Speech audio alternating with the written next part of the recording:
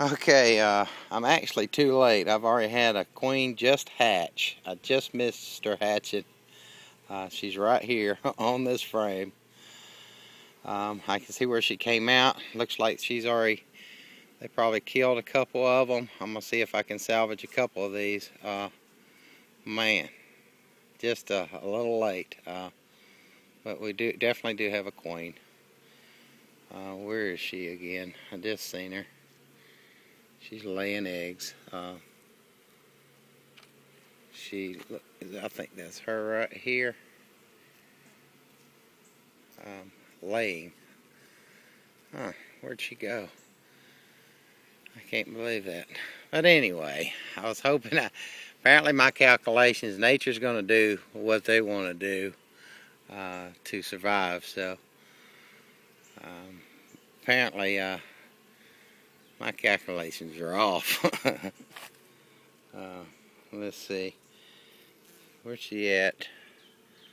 That's where she came out of. Uh, I don't know if you can see that or not, but that's where she actually came out of.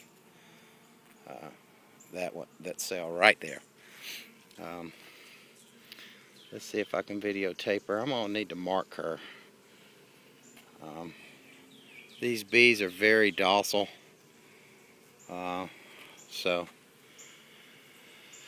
huh. Well, I spotted her a second ago. She's uh, laying, so she's got her butt in one of these holes. Uh, she must have hatched this morning. Uh, is the only thing I can figure. Um, see if I can pick up on her again. Hmm. Well, what I'm gonna do? Why? Uh, I have this open is to uh, cut out a couple of those.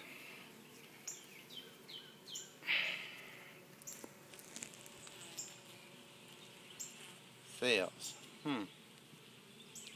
And I'll probably cut out this one on the bottom here. Easy to get to. So. Well. I was hoping to get a shot of that queen again.